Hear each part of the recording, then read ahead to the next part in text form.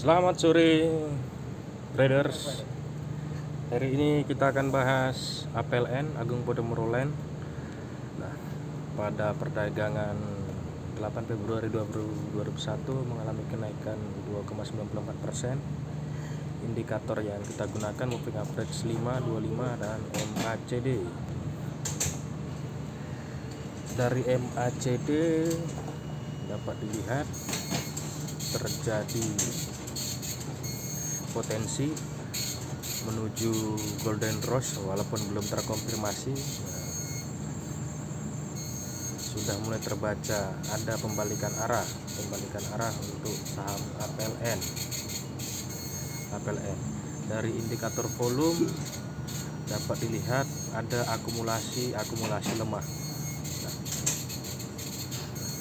dari indikator candle dilihat terjadi kekuatan beli di mana candle pada hari ini menutup closing di candle hari sebelumnya.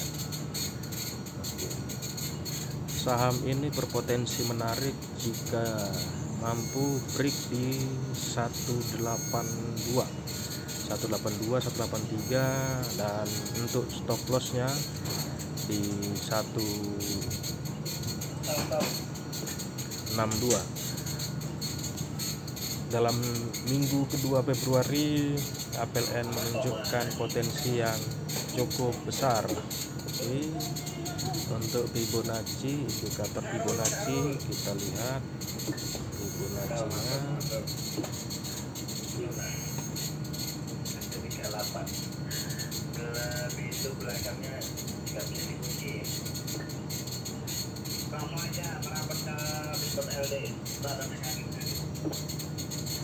Fibonacci dari APLN berusaha menembus titik 0,382 di 179 Oke. Dari Fibonacci kita lihat untuk target take profit kita di angka 189 189 up di angka 199 sampai 200 ini potensinya cukup besar. Dan semoga dalam minggu-minggu ini di week kedua Februari untuk APLN mengalami kenaikan. Oke terima kasih sobat-sobat trader. Semoga portofolio Anda selalu hijau dan tidak ada merah.